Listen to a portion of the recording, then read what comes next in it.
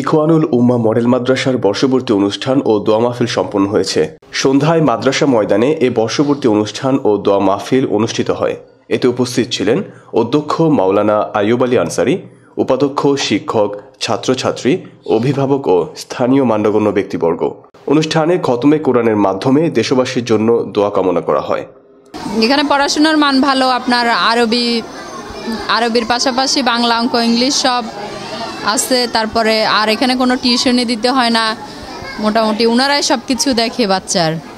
এই জন্য আমরা সন্তুষ্ট আর কি। ক্রয় ক্ষমতার ভিতরে কিনা?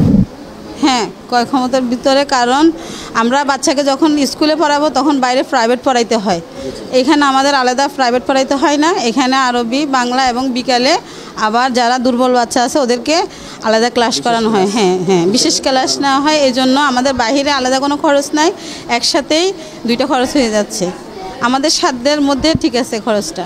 ইনশাল্লাহ এখানে মডেল মাদ্রাসা খুব ভালো এই জন্য আমার মেয়েকে ভর্তি করাইছি। স্কুল থেকে নিয়ে এসে এখানে ভর্তি করাইছি। আমি আমার ইয়েতে বলতে চাই আরও অনেক গাইডিয়ান আছে যেন সবাইকে এখন মডেল মাদ্রাসায় ভর্তি করায়।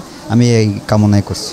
আগামী দিনে ইনশাআল্লাহ আমরা নিয়ত করেছি এই প্রতিষ্ঠান থেকে, আমার যে ভবিষ্যৎ চিন্তা ধারণা এই প্রতিষ্ঠান থেকে সারা বিশ্বের সর্বোচ্চ বিদ্যাপীঠ পর্যন্ত পৌঁছে এই প্রতিষ্ঠানের ছাত্রছাত্রীরাই একসময় এই সমাজ, এই দেশ, এই এলাকাগুলোকে ডেভেলপ করবে, এই সমাজকে ডেভেলপ করবে দেশপ্রেম দেশের উন্নয়নের জন্য ভূমিকা রাখবে।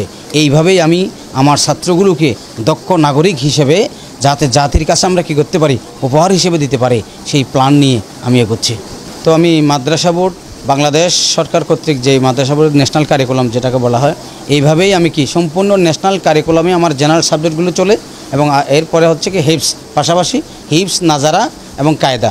তিনটার সাথেই আমি এই একসাথেই চালাচ্ছি এবং ন্যাশনাল কারিকুলামে ও ইতিমধ্যে আমি আবেদন করেছি সরকারের কাছে আমার নিজস্ব প্রতিষ্ঠান থেকে ইনশাল্লাহ আগামী বছর থেকে পরীক্ষা দেওয়ার জন্য সেই পদক্ষেপ যেমন আপনি দেখতে পাচ্ছেন একটা বিল্ডিংয়ের ভাড়া এবং টিচারদের বেতন সব মিলিয়ে ইতিমধ্যে আমি এলাকার সবাই জানে এখনও আমি কি কোথায় আছি। এখন আমি ভর্তুকিতে আছি এখনও পর্যন্ত। যার কারণে আমাকে আমি এমন কোনো ডিমান্ড করি নেই যে ডিমান্ডের কারণে এই আমার লাভ হবে, আমি লাভের কোনো উদ্দেশ্যই নেই এখানে। লভ্যাংশ পাওয়ার কোনো উদ্দেশ্য আমার কাছে নাই। একেবারে টপ টু বটম আল শুধু তাদের খরচগুলো দিয়ে যাতে আমি প্রতিষ্ঠান চালাতে পারি এইভাবে আমি এগুলো চালিয়ে নিচ্ছি। আসলে দেখেছি অনেকগুলো গতানুগতিকভাবে অনেক মাদ্রাসা আছে, গতানুগতিক, স্বাভাবিকভাবে চলতেছে। যেগুলো শুধু একটা সাইড নিয়ে পড়ে আছে, ভবিষ্যতে তাদের অন্ধকার দেখতে। অধিকাংশ প্রতিষ্ঠানে আমি দেখতেছি, সে পড়তে পড়তে হিপস করতে করতে তার বয়সটা শেষ হয়ে যাচ্ছে। বয়সটা শেষ হয়ে যাওয়ার কারণে সে আরও যে জেনারেল পড়তে পারতেছেন না তখন আমি চিন্তা করে এই প্রথমে চিন্তা করেছিলাম, আমি কীভাবে আমার বাচ্চাগুলোকে কি করব। মানুষ করব বা চিন্তা করলাম, শুধু আমারটা নেই এটা স্বার্থপর হয়ে যাচ্ছে স্বার্থপরতা না করে আমি এলাকার যাতে দশজনের পাঁচটা, বিশটা, একশো বাচ্চাকে আমি যে নিয়ে পড়াইতে পারি, একসাথে জেনারেল ন্যাশনাল কারিকুলামে চলবে, বাংলা, ইংরেজি, অঙ্ক, আরবি, সাথে হিপসরাও চলবে। যোগ্য একজন আলেম, যোগ্য একজন নাগরিক হিসেবে গঠন করার জন্য এই উদ্দেশ্যেই আমি আমার প্রতিষ্ঠানটাকে করেছি।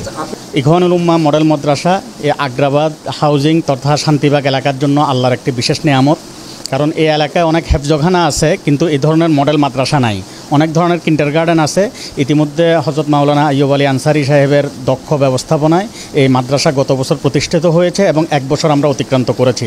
আমরা আল্লাহ শুক্রিয়া আদায় করতেছি এবং আমরা বিশ্বাস করি যে ওনার নেতৃত্বে এই মাদ্রাসা উত্তর উত্তর সামনের দিকে এগিয়ে যাবে এবং এখানে দিনী এলেমের মাধ্যমে, শুধু দিনী এলেম না, পাশাপাশি দুনিয়ার যে এলেম দরকার, সেই এলেমও এখানে শিক্ষা দেওয়া হচ্ছে এবং হেফজ এবং নাজারার পাশাপাশি এখানে ন্যাশনাল যে কারিকুলাম সেভাবে শিক্ষা দেওয়া হচ্ছে এবং ছাত্রদেরকে অত্যন্ত আদর্শ নাগরিক হিসেবে গড়ে তোলার জন্য যা যা করার এই মাদ্রাসা থেকে প্রত্যেক কিছুই এখানে করা হচ্ছে।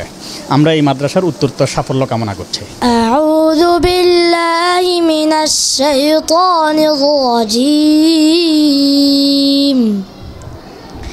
বিসমিল্লাহির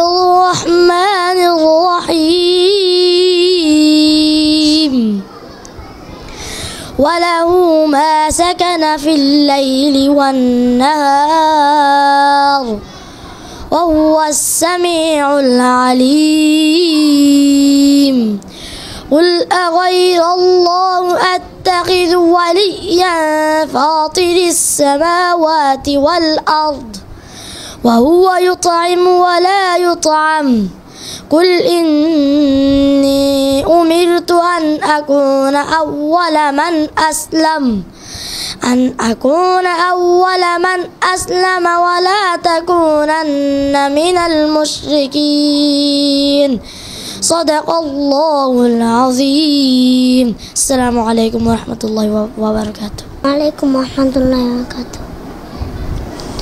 আমি তাস্কিয়া বিন তানসাই আমি মাদ্রাসার ছাত্রী أعوذ بالله من الشيطان الرجيم.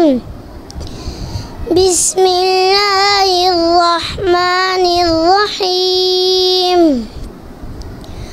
قل أعوذ برب